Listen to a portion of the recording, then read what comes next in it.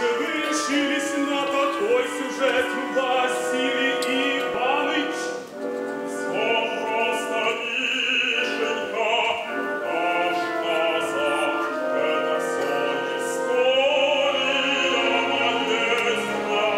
Искусное сплетение гениальной музыки с реальной историей, тонко приправленной художественным вымыслом. На сцене театра оперы и балета мировая премьера. Артисты показывают процесс создания легендарной картины Сурикова «Покорение Сибири Ермаком». Не все принимали эту картину. Отнюдь не всем она нравилась, не всем нравилось творчество Сурикова. Да? То есть, э, сколь сложный процесс вообще создания художественного произведения. И, э, конечно, сама история того, что император Николай приурочил покупку этой картины к открытию э, первого национального э, музея, э, национальной картинной галереи Русского музея нынешнего. Это тоже часть нашей истории. В зале не просто зрители, это счастливчики, которые видят спектакль первыми в мире.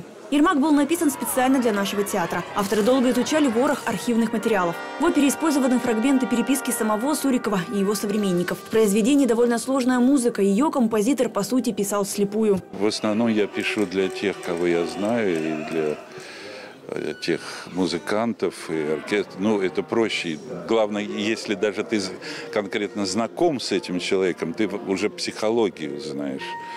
А здесь я не знал ни, ни солистов, никого. Есть очень хорошие солисты, просто замечательные. Эта опера еще и словно выставка картин Сурикова. Возможность заново познакомиться с творчеством художника. Он повсюду. В декорациях, десятках персонажей и все знаменитые личности из его окружения. Художники, критики и царь Николай II. Позже сыгравший Сурикова актер Александр Михалев признался, роль сибирского художника уже приходилось исполнять, но именно в Ермаке чувствуют огромную ответственность. Немножко усталость накопилась, потому что было много репетиций, э, потому что ответственность не только я чувствую, но и все. И поэтому все хотели-хотели, чтобы все детали э, отладить, все огрехи вычистить, как бы, и вот э, чтобы результат был э, первый, самый как бы эталонный, с него все будут пример, может быть, брать.